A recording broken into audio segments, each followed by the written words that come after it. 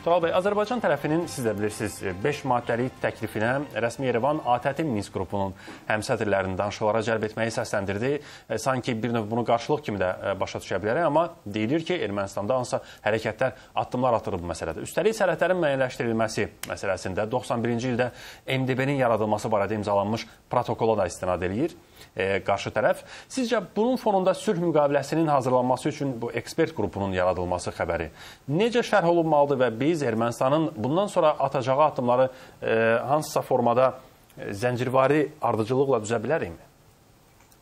E, ilk növbədə onu qeyd edim ki, e, ekspert qrupların yaradılması, iki tərəfli komissiyaların yaradılması, bunlar hamısı sülh müqaviləsinin bağlanmasının ilkin şərtləridir.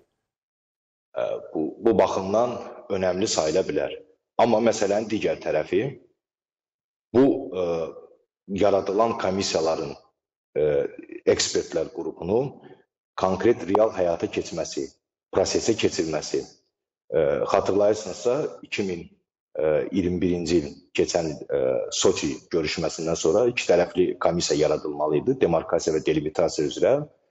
Ancaq ə, bu komissiyanın işindən hələ bir xəbər çıxmadı indiyə qədər bu komissiya ilə bağlı, tərkibi ilə bağlı, görüləcək işlərlə bağlı, hansı xəritələr üzrə, hansı ilin xəritələri üzrə işlənəcəyi də bağlı hələ də suallar çoxdur və bu sualların cavabı yoxdur.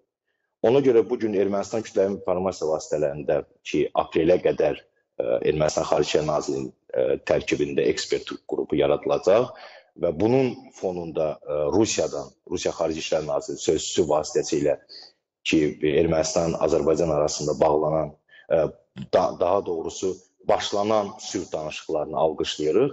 Bunlar hamısı e, deyilişi xoş və e, ümumi prosesə xidmət eləyə bilər, ancaq az qala 2 il olacaq müharibə bitirib, hələ ki biz bunun real nəticəsini görmürük. Və dəfələrlə 2 il müddətini keçməsinə baxmayaraq, istər Qarabağ daxilində qanunsuz erməni dəstələri, yəni sülh məramlarının müvəqqəti dislokasiya olunmuş ərazisində insidentlər Azərbaycan ordusuna qarşı və istərsə də Ermənistan-Azərbaycan sərhədində baş verən toqquşmalar onu əsas onu deməyə əsas verir ki, Ermənistan tərəfi sülh danışıqlarına real sülh danışıqlarına hazır deyil. Tural bəy, qeyd etdiyiniz kimi Ermənistan tərəfinin real sülh danışıqlarına hazırlığı məsələsini vurğuladınız. Necə fikirləşirsiniz? Məlum məsələ Ermənistan tərəfi də mövcud geosiyasi qarşıdurmanı yaxşı dəyərləndirməyə çalışır deyə fikirləşirəm. Çünki bu gün Ukrayna müharibəsi fonunda Rusiya tətbiq edilən sanksiyalar əminəm ki, daha doğrusu hər kəsə bəllidir ki, Ermənistana da təsir edəcək. Sizcə bu onun ritorikasını dəyişəcəkmi?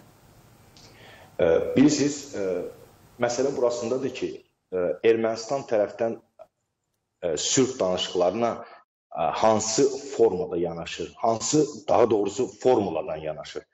Azərbaycan Xarici İşlər Naziri 5 maddəlik, 5 maddədən ibarət Ermənistan tərəfindən təkliflər göndərdi. Və bu təkliflərin heç birində beynəlxalq hüquqa zidd, BMT-nin nizamnaməsinə və yaxud da Helsinki yekun aktına zidd olacaq hər hansı bir tələb və təklif yoxdur. Bu bütün dünya tərəfindən qəbul edilmiş beynəlxalq hüquq və normalara əsaslanır.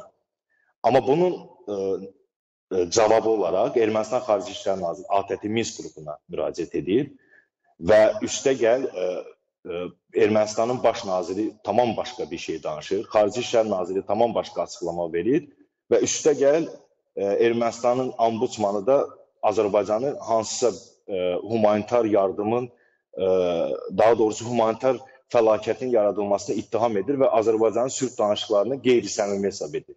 Təsəvvürünüzə gətirirsinizmi? 30 ilə yaxın işğal altında saxlayan bir dövlət Azərbaycan torpaqlarını, Azərbaycanı qeyri-səmimilikdə ittiham edir. Və bunlar bütün bu Ermənistan hakimiyyətinin daxilində gedir. Və Ermənistan bunu əsaslandırmağa çalışır ki, ə, o biz zaman-zaman biz bunu müzakirə edirdik ki, vaxt verin, daxildən təzyiqlərlə üzləşir, ə, daxili sakitləşdirmə, daxili auditoriyanı sülh danışıqlarına hazırlamaq hələ hazır deyil və e, siz dediyiniz kimi ki, Azərbaycan ərazi bütövlüyünü tanımaq qarşılıqlı surətdə, yəni 91-ci il dekabr ayında o MDB protokoluna əsasən. Məsələ burasındadır ki, Ermənistan Azərbaycan ərazisini tanıyıb, amma Qarabağı ə, daha doğrusu dırnaqarası Dağlıq Qarabağ Azərbaycanın tərkib hissəsində görmək istəmir. Onlar onu danışıqlar formatından çıxarmaq istəyir. Ona görə bu gün ATƏT Minsk qrupuna müraciət edir ki, bəlkə ə, o Rusiyanın qondarma o DNR və LNR-i tanımaq ərəfəsində ə, bunlar da hansısa geopolitik ə, gedişatdan istifadə edib bəlkə Rusiya tərəfindən bir müstəqillik qazana bilərlər. Onların niyyətləri bunu hesablanır. Bəli. Yəni, bu niyyəti görməmək sadəcə olaraq ya siyasətdən ya da hansısa bir prosesdən bixəbər olacaq.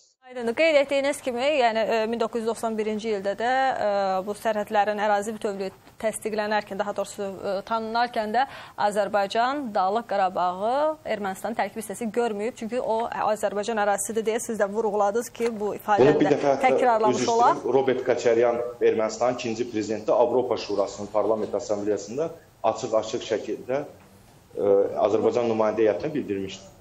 Aydındır. Təbii Buna- ki, aydındır. Bəli, Pr proseslərin e, təşəkkür edirəm Turab